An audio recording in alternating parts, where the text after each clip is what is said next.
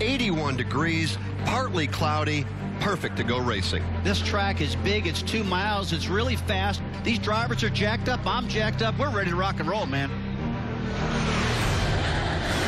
Tough break. Kevin Harvick is now creeping onto the entrance to pit road. Going down the backstretch is, is really when I realized that I had a problem. I felt the tire go down, I felt the splitter hit the ground, and the right front of the car kind of go over. That car off the pace was running in the second spot a moment ago and is heading for the pit lane. I knew at that point if I could just get it to pit road without tearing the splitter off the car and not hitting another car or spinning out or having something come apart on the tire, we were still going to be in the game. It looks like you ran over something at some point. It was going down and then come apart, but they're going to take it back and look at it. I felt it down the back straightaway. It went down. We destroyed the splitter a little bit when I came down pit road with the tire flat and hurt the balance of the car and was really tight after that. So we had to make some really big changes as the race was going on to try to get the balance free back up. But the last run, we finally got it right and started the run a little bit too loose and, and was able to motor on. I got 28 on our right, so probably just going to put four tires on it, try to drive back up through there. If the stage ran out without having a caution, we were going to be okay because everybody had to pit. So we were going to finish somewhere in the top 10 in the stage, and then it was all about figuring out what we are going to do at the stage break. Four tires here, four tires.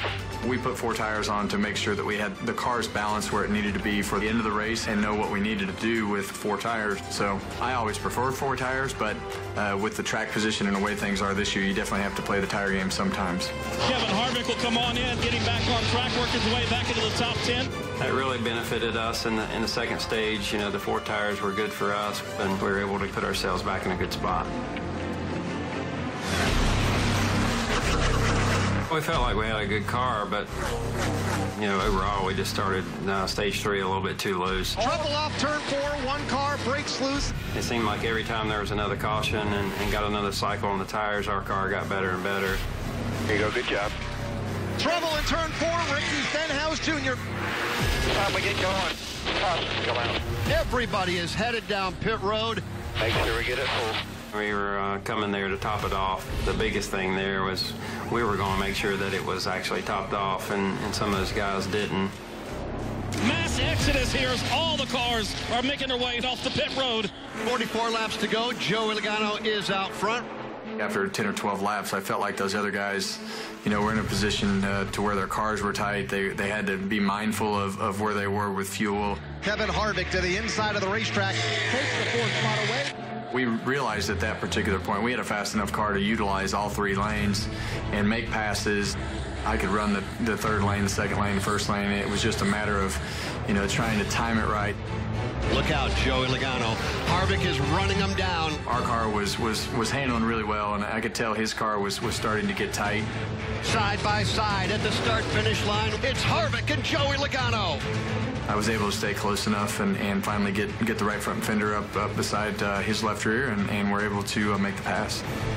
Kevin Harvick to the lead. We had a fast car all weekend, and, and we're able to to capitalize on that today, even with the adversity that we faced. Checkered flag is out, and Kevin Harvick has picked up win number two of 2019. Nice job, fellas. Hell yeah, good job. There's been a couple other opportunities that, that we didn't capitalize on, but uh, we've definitely capitalized on a couple over the last month here.